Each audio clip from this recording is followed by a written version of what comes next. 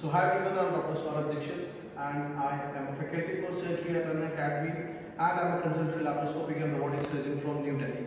So today I'm going to discuss with you a very interesting case, a case of lymphedema. Actually, I have a patient today with me who is having a 35 year old history of lymphatic obstruction and this is a secondary type probably because of the filaria. The patient has a history of being, in, uh, being bitten by an insect approximately 30-35 years ago. So today, before discussing that case and showing you the clinical steps, I'll go for the evaluation of lymphedema.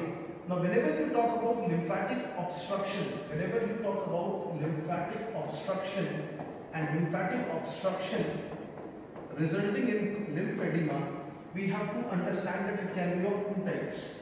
It can be a primary, it can be a primary or it can be a secondary.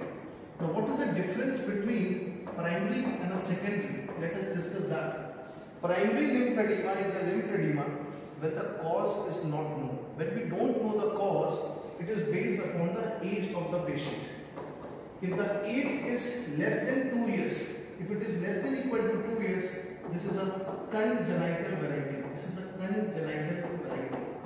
If the age is more than 2, up to 35 years, that is known as lymphedema precox. Lymphedema precox. And then, if the age of the patient is more than 35 years, then that is known as lymphedema tarda. Lymphedema tarda.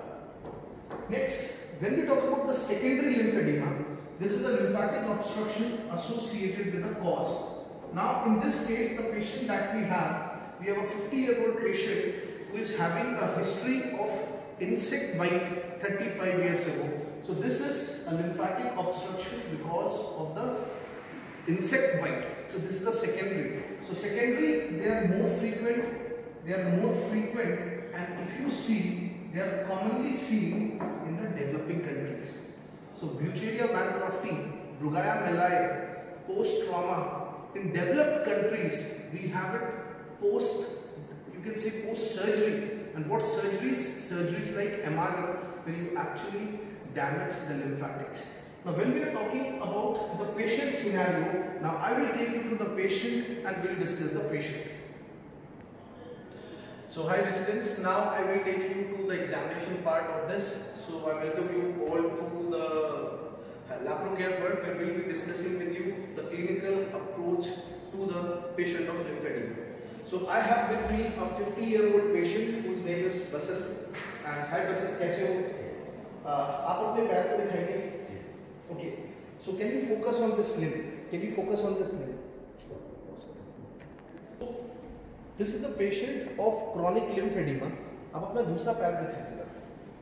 First of all, you can see this is a this is a normal limb. This is absolutely normal. The limb is absolutely normal. But if you see this limb, you can see a huge girth. So this is how you make a decision that it is a case of lymphedema. Now, how to decide whether it is a venous lymphedema or whether it is a lymphatic obstruction? Always remember the venous obstruction will start above the level of medial malleolus. But here if you see, the foot is also involved. The foot is not spared in the lymphatic obstruction. So this is the patient, patient of lymphatic obstruction. Let us talk to the patient and decide about the history. तो आप ये बताएँगे कि कब से शुरू हुआ? कितना पुराना है? तो special gives a history of 35 years now क्या हुआ था पहले साल पहले? किसी कीड़े ने काटा था या चोट कीड़े ने राइट रेस में आम के पेड़ पे बैठे थे। बाल बारिश मतलब जब काफ़ी बारिश थी धूप थी उस time okay so patient has a history that patient has been bitten patient has been bit by insect and ये फिर उसके बाद धीरे धीरे धीरे धीरे मतलब फूलता रहा। So now you see that this is progressive in gut, progressive in gut. Now, if you see, I will tell you what are the classical important features of lymphatic obstruction. The first thing that we all have to understand that this limb, this is what is known as a tree trunk limb. This is a tree trunk limb. Can you see? This is a tree trunk limb. So the girth of this is like a girth of a tree trunk. Can you see? This is huge. This is huge. Next is, if you see there are a lot of fibrotic skin changes. Can you see? This is fibrotic skin changes. There are fibrotic skin changes. This is what is this pigmentation, fibrotic skin changes. This is referred as lichenification. Lichenification. If you see, there are multiple ulcers which is which is showing you a scab also. So what is this? This is classically referred as a decubitus ulcer because of the friction. Now, if you see the the foot, the foot, what is this? This is a buffalo's hump. Can you see? This is a classical buffalo's hump. These are square toes. These are square toes.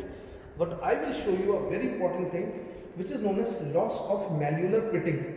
Now, normally if you see his normal limb and if there is edema, if there is edema, I will press and I can evaluate the pitting. But here the malleolar pitting is lost. Can you see? Can you focus here? There is nothing known as malleolar pitting because of excessive subcutaneous edema. Then I will show you one more thing. I will try to pinch the skin. Can you focus on this? I will try to pinch the skin. This is possible. This is a normal reaction.